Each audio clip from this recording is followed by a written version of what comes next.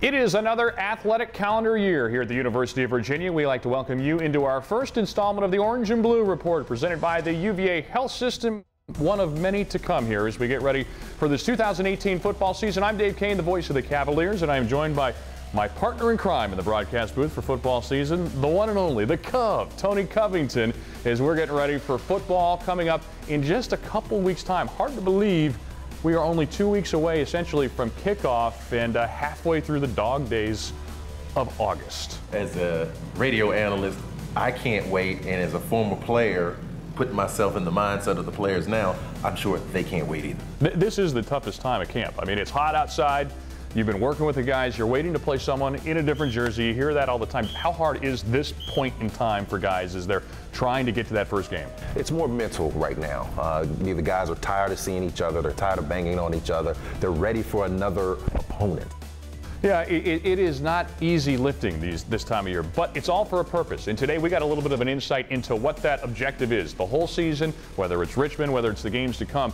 Uh, our broadcast boot camp, a chance for us to sit down with the coaches. We learned a lot of things here today, and I think some of it we had an idea about. But the topic on everybody's mind to start this season, look, that's quarterback play. Bryce Perkins is the new weapon for Virginia. He comes in replacing Kurt Benkert, a record-setting quarterback, but a very different animal. Perkins, he brings speed that I don't think any Virginia fans have maybe ever seen at that position at this university. Yeah, well, I think they're they're more comfortable in this particular system. Uh, Kurt was was a different type from what they like to do. If they go back to BYU and thinking of the Taysom Hill years, they're much more comfortable being able to engage in this type of game planning.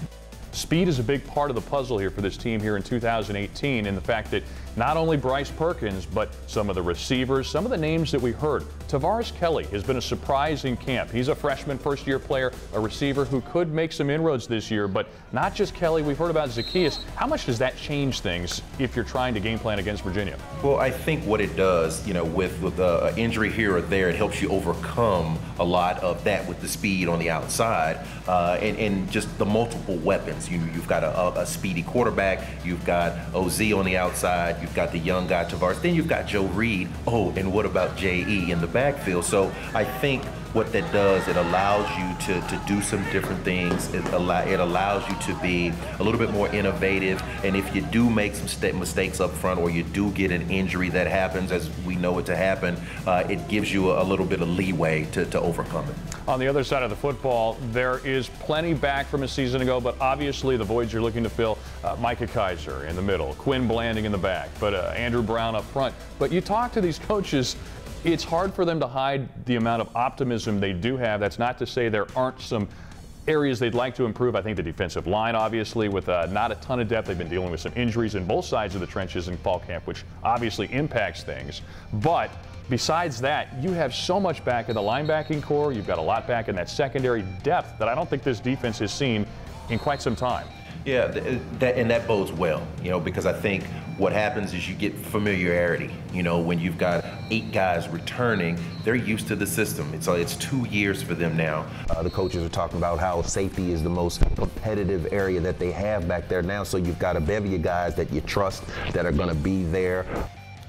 You mentioned secondary. You had no choice in the matter because you played in the secondary. So let's go to your area of expertise. And this could be Virginia's area of expertise as a defensive unit this season. I think we're going to see a lot of different players fit into those roles. Uh, we're trying to replace a Quinn Blanding, but a lot of candidates. Yeah, I mean, you've got a lot of versatility back there. You've got a guy who was the returning rookie of the year in Brenton Nelson. You've got a, a young guy, Joey Blount, that got some some significant some significant time last season. Uh, and then you've got Chris Moore, who is that versatile safety, maybe linebacker type.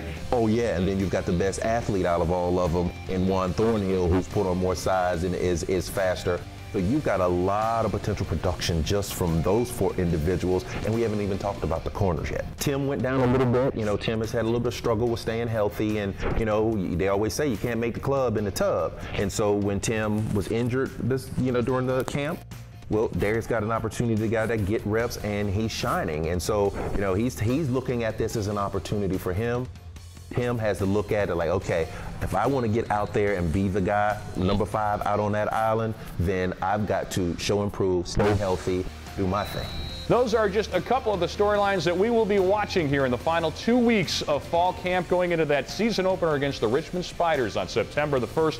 We'll be bringing in the new season coming up on August 31st. Paint the Town Orange Day in downtown Charlottesville. But before that, on VirginiaSports.com, make sure you can check out a number of great pieces coming up. It's coming up on Monday. It's the road home. We go back to Charlotte Courthouse, Virginia to catch up with Joe Reed and find out what his path to UVA was like. And don't forget more orange and blue reports coming up as well as we get closer to football season. But for now, for Tony Covington, I'm Dave Koehn. Thanks for checking in.